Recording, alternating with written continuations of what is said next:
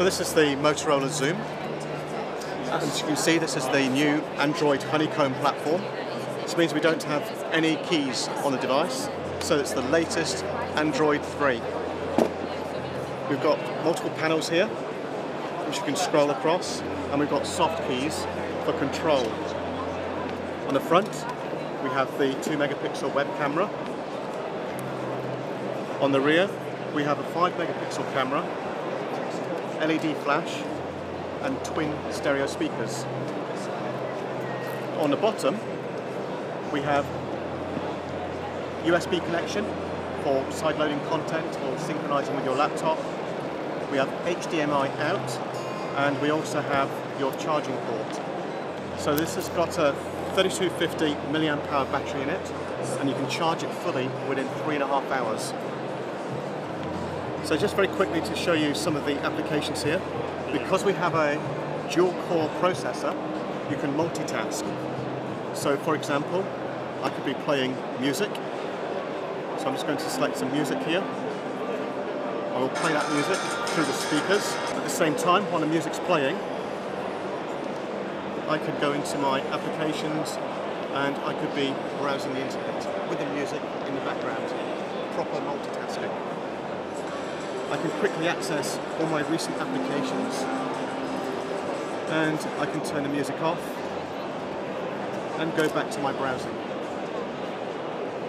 So it's a new user experience aimed at making it really easy to use, really fast, really quick. And that's why we call it the Motorola Xoom.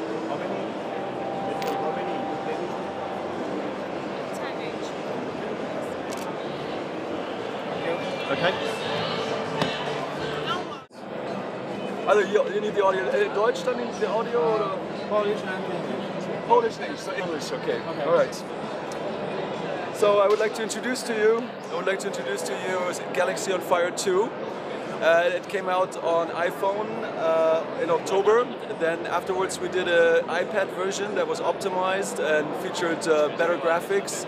And now the NVIDIA Tegra chip on this uh, Xoom Motorola um, actually enabled us to quadruple the number of textures and meshes. We got shader support, we got specular mapping, everything that a gamer could want. Um, let me show you a bit of the graphics, what it looks like. We got it on out of fire right now. It's essentially a space adventure. Maybe I should, we can switch between the controls. For the presentation, it probably makes more sense to put it on touch. And then you can actually steer it like a console. So you have some, you have a bit of a PlayStation feeling. Um, just to give you, basically, we can do an action freeze. Uh, you can do essentially a screenshot. You can post a screenshot on Facebook if you'd like. So it gives you, a, it's also helpful for us to showcase what the graphics engine can really do. So and uh, we can see here we're actually being shot at. So maybe it's time to get to get into a, a fight.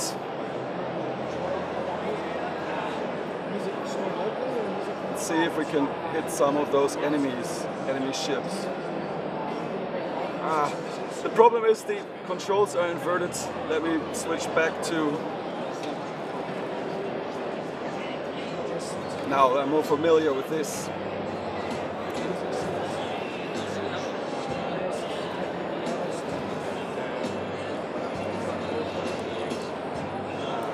Okay. Good. Well, and here it crashes. Is that enough? You want to show more? Maybe space station or? It's gonna be uh, it's gonna be available in about eight to ten weeks. Uh, it's gonna be on the Android markets. Uh, it features Honeycomb 3.0, and as far as I hear, it's gonna be uh, added to the Tegra zone in the on the Android market. Allegedly, there's gonna be an Android uh, Tegra zone along with all the other premium apps, uh, with all the other apps, uh, special special versions with the Tegra chip. And uh, we're here at the space station. Was, this is this is at the space station. It's essentially your mission hub. You can visit the hangar, buy new ships, buy new equipment. You can uh, buy, buy buy and sell commodities. So it's not just an arcade shooter. It is essentially a game that is somewhat in the tradition of Elite, Freelancer, Wing Commander. It's a space adventure. You can trade. You can uh, drill asteroids you can collect iron, you can uh, do all kinds of stuff. We have at least 10 hours of uh, gaming content, uh, story driven, uh, but we've had users play it for 100 hours and more. And uh, there's plenty of content in it. And obviously, uh, at some point, I guess we will be doing some expansions on that as well. This is the idea, this is the map currently it shows you the uh, solar system you're currently in. It allows you to fast travel to other planets. And also to give you an idea of the size of the game. It's big. There's stuff. There's plenty of stuff to explore. Yeah, you're welcome.